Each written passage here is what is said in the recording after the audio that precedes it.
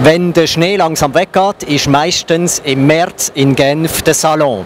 Das Highlight von der Schweizer Autoszene. Jean-Louis Vidal und Felix Stockhart von Road Motor sind an Salon Genf gereist und geben Ihnen einen Überblick über die Autoneuheiten, die das Jahr bei uns in der Schweiz zu erwarten sind.